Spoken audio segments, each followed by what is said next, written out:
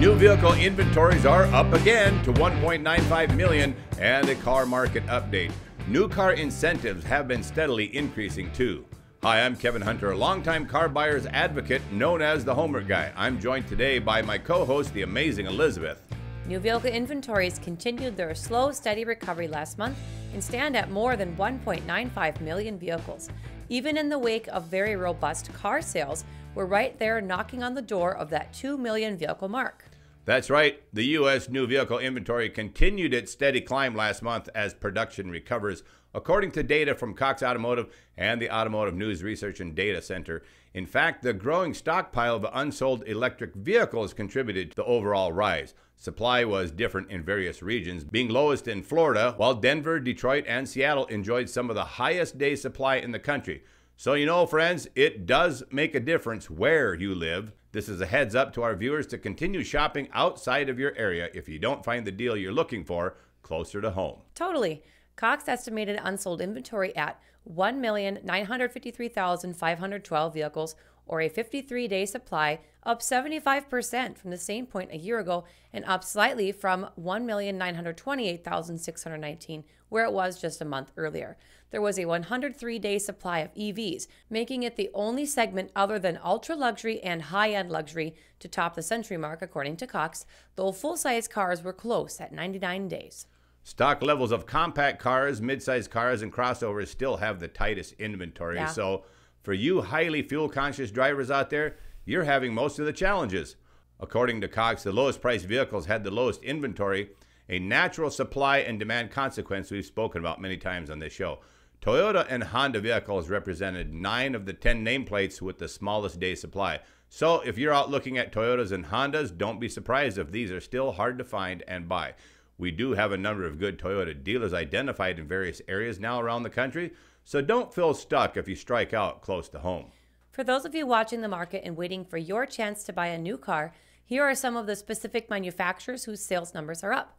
Remember, more inventory means better incentives and leverage for you, the car buyer. So in this report, Toyota and Honda had more sales, but they're also quickly running out of that inventory. Hyundai, Kia, Subaru, and Mazda sales numbers were up as well, but their inventory continues to be on the rebound. U.S. light vehicle sales were up 19% in July over a year ago.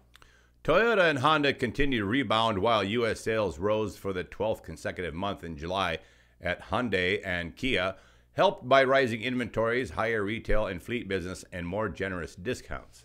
Toyota's July sales rose 8% to 191,000, with volume up 8.8% at Toyota and 3.3% at Lexus. While the automaker continues to be hampered by some of the industry's lowest supplies of new cars and light trucks, July marked Toyota Motors' fourth consecutive monthly advance. Weaker results for three of Toyota's biggest sellers Camry down 9%, Highlander down 3%, and Tacoma down 16%, were offset by higher sales of the Corolla up 17%, Corolla Cross up 58%, Sienna up 57%, Wow. and 4Runner up 46%. Toyota Motors said it had almost a 20 day supply of vehicles. This is not a lot of inventory by any means, that's for sure. Yeah. Honda's deliveries rose 57% for the second straight month, with the volume rising 53% at Honda and 99% at Acura. Honda's top sellers all posted major gains. Accord was up 145%, Civic up 86%, and CRV up 52%. The automaker has told dealers some shipments have been stymied by a shortage of rail cars in Canada, as well as truck and driver shortages in the U.S. Subaru's U.S. deliveries have now rebounded 12 straight months, with July volume jumping 21%, led by sharply higher Forester and Outback sales that offset weaker Crosstrek demand. Deliveries rose 9.7% last month at Hyundai, with retail volume edging up 2%. Sales of Hyundai's top seller, the Tucson crossover, rose 23%, setting a July record. Kia set a July sales record up 14%. The results were boosted by a 72% increase in the sales of electrified models and a 17% jump in deliveries of utility vehicles. Hyundai and Kia, like the rest of the industry, have hiked incentives in recent months as inventories rebound from historic lows that stem from the chronic parts shortages. In the second quarter, U.S. discounts and marketing promotions at Kia and Hyundai rose to over 1,000 per vehicle from a year earlier, and in July, Hyundai's incentives topped 2,000.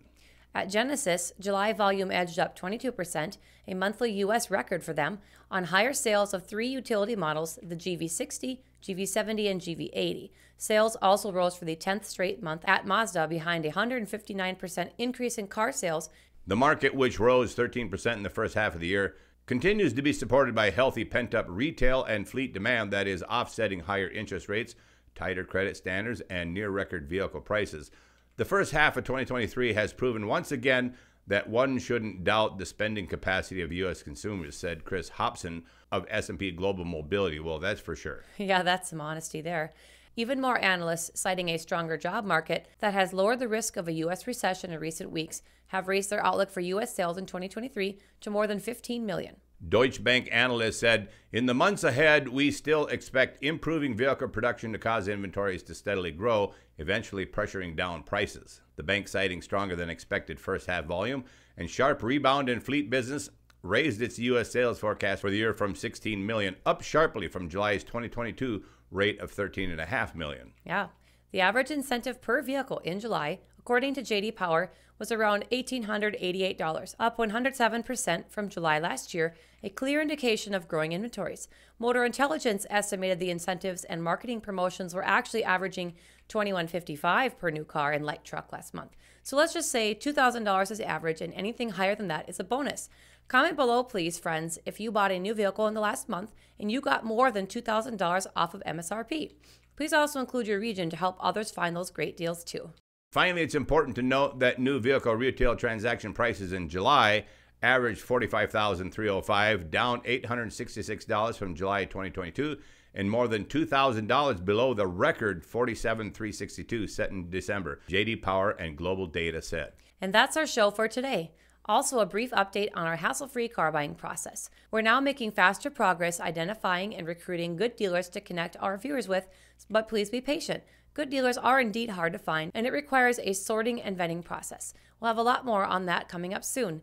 If you appreciated today's show and you're new here, don't forget to smack that subscribe button and ring the bell for notifications of new shows. For those of you just entering the car market, you should be aware of all the free resources we have for you on our website, thehomeworkguy.com. You'll find a free car buyer's guide, free email templates to use with car dealers, there's also a list of common dealer fake fees. We just recently added the spreadsheet we did on total car dealer fees by state in the US. And there's a download for combating forced add ons and deceptive pricing.